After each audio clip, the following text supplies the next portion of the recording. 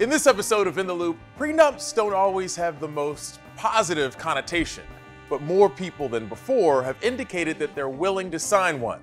We'll tell you more about the history of prenups and why they're growing in popularity. Plus, we are in the eight days of Hanukkah. To celebrate, we're taking you inside a first of its kind pop up bar in Chicago to see how the owners are spreading an awareness of the Jewish holiday and traditions. This is In the Loop. I'm Christian Bryant. You might have noticed we aren't in our usual setup. Don't worry though. We'll be back at our desk soon, but we have some changes going on as we prepare to become Scripps News. So, in the meantime, I'm commandeering the Newsy Tonight studio. Before we get to our top story, first of all, can you believe that World Cup final came down to penalties? And of course, the big storyline was watching Messi finally get a World Cup win. While Argentina were celebrating their World Cup victory, Many in the US sports world had their own very different reason to celebrate. Eight time WNBA All Star and two time Olympic gold medalist Brittney Griner is back on home soil after being released from Russian detention. Griner spent close to nine months in Russia after being arrested there on charges of possession of hashish oil while she played for a Russian basketball team in the WNBA's offseason. She was sentenced to nine years in prison in August and spent the last few weeks of her time in a notoriously harsh penal colony. Her release came in a swap where the Biden administration released a Russian arms dealer, and that sparked some political controversy with former President Donald Trump denouncing the swap. But there's a big fundamental issue here worth tackling. How did any WNBA player, let alone an all star and likely future Hall of Famer, end up having to take on a second offseason gig in Russia?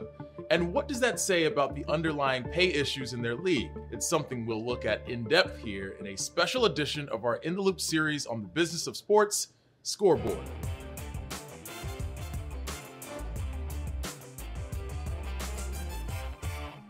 WNBA players are paid less than their male NBA counterparts. That's a natural result of the WNBA bringing in less money than the NBA. But that's not the only difference in how players in the two leagues get paid.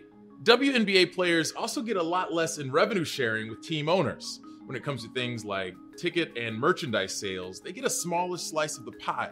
Things like that often push players to second gigs, usually in the form of off-season play in other leagues outside the US. Players are organized in a union, the WNBPA, and they played a big role both in keeping up pressure to free Brittney Griner and to give players better conditions that would allow them to rely on full-time revenue from their careers in the WNBA.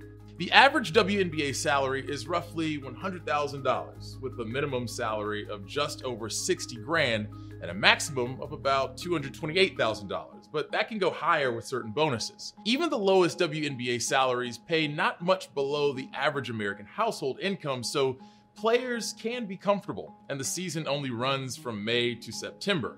There's plenty of room to earn additional income, but it can be hard to do that while also staying in game shape. WNBA teams have to navigate a strict salary cap and other spending limits that the league set to keep all teams competitive with each other and allow owners an easier path to turning a profit. League rules go as far as banning teams from chartering their own planes to get to games.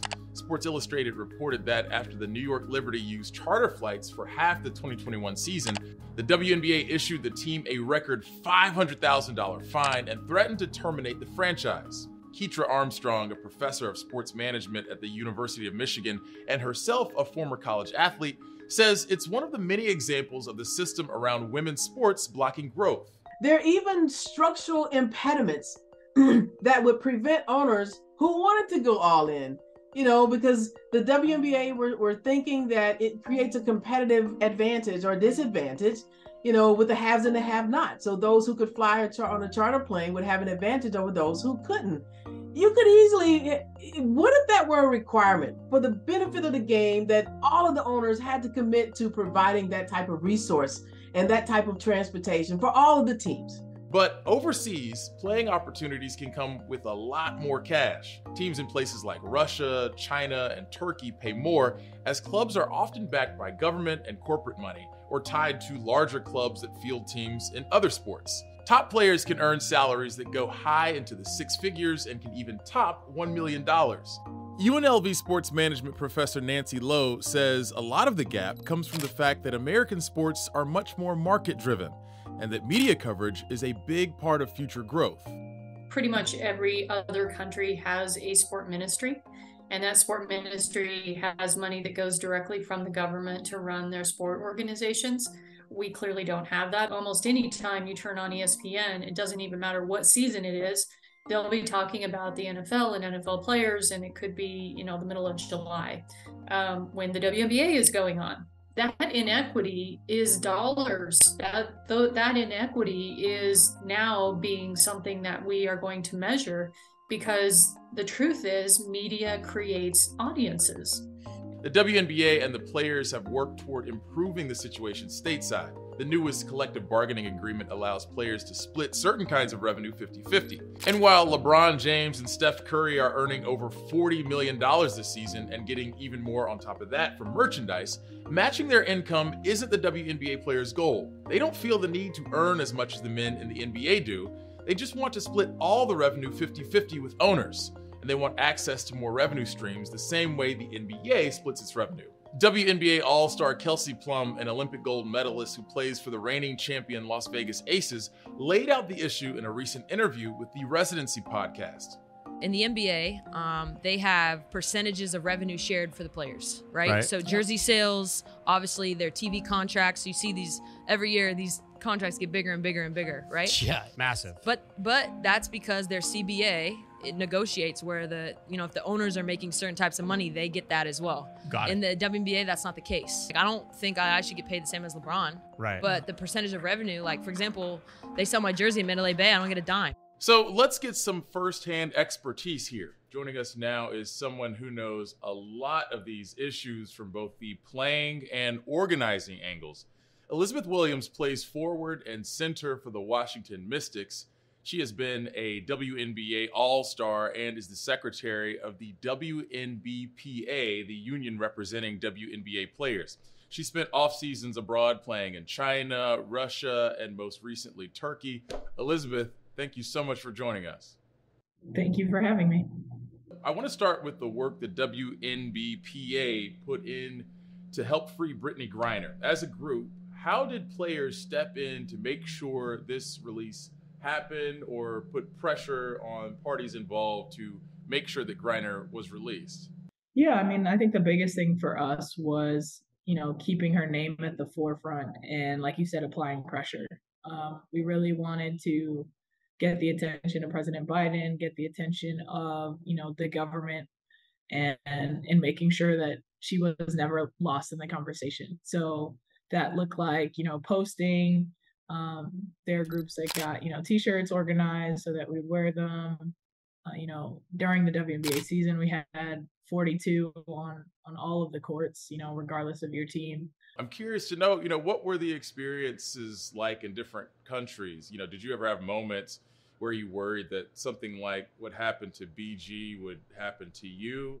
Yeah, it, it's really interesting because, you know, we're on we're honestly kind of protected while we're over there. Uh, the way athletes are treated, kind of by the clubs and the president, like we're kind of the prized possession. So, in a way, we we can be kind of isolated, and so that's what made her situation so scary. Is because she played for a club that you know the owner is like a billionaire, like super powerful guy, but because of the war and the political situation that was going on, she was really there was no control. And so that was what was kind of the scariest thing because it really could have been any of us that have played in Russia or in any of these places um, where, you know, when we don't have that sense of security from our clubs.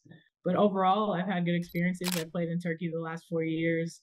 There are plenty of foreigners there, not just Americans, but Africans, other Europeans. Uh, and so that makes it a lot more comfortable. Yeah, we know BG's situation was a unique one, but you know, just out of curiosity, did it did it kind of shake up your process uh, at all in thinking about playing overseas? Was this something like, you know, maybe I should, uh, I don't know, stay home during the off season?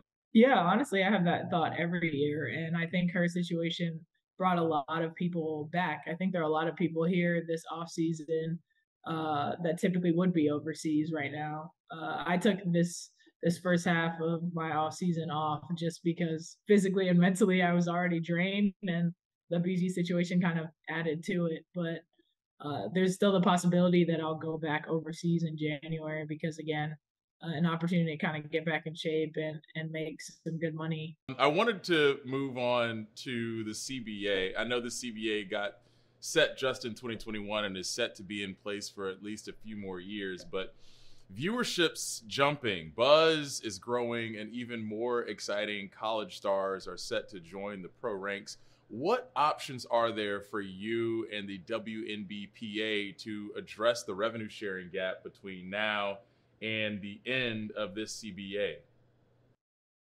Um, so right now, a lot of that is just dependent on what we generate. Honestly, ticket sales are kind of the biggest thing that drives revenue for us.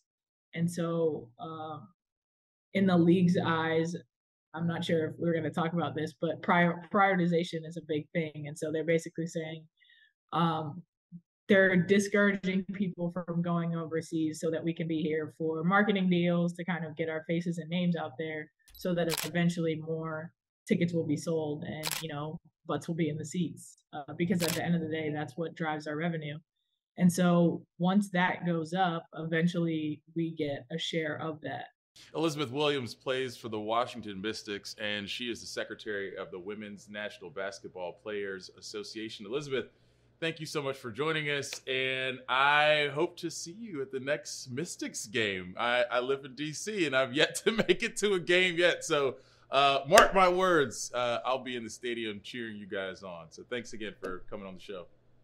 Absolutely. Thank you. All right, folks, we've got a lot more coming your way. Up next, we're exploring how the ongoing U.S. racial reckoning and the events of 2020 are leading to a growing trend of history tourism. We'll explain more in just a bit.